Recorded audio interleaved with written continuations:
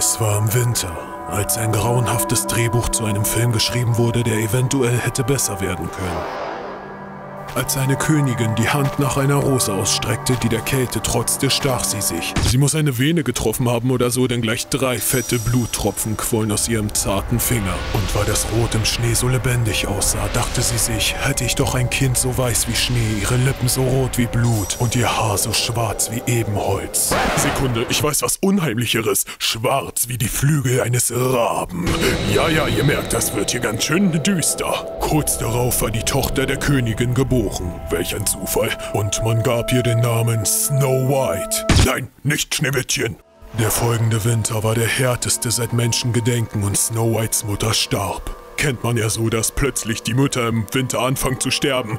Was kennt ihr nicht? Ja, ist aber so. Punkt. Ja, dann kam die böse Heiratsschwindlerin und tötete den König, nachdem sie ihn geheiratet hatte. Spieglein, Spieglein an der Wand. Wer ist die Schönste im ganzen Land?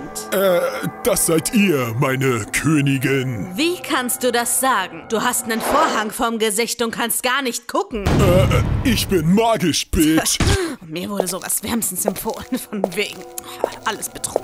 Durch ihre Herrschaft gingen alle Pflanzen ein und alle wurden ganz traurig. Und während dieser ganzen Zeit blieb Snow White hoch oben im Nordturm gefangen.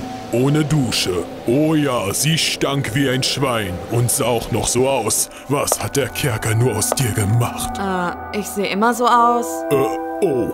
Wow, hier ist ein Nagel, den ich als Waffe benutzen kann. Warum fällt mir das erst nach all den Jahren Gefangenschaft auf? Auf der Flucht verpasste sie dem Klischeebösen auch noch eine stereotypische Augennarbe und schwamm durch das Meer ans andere Ufer.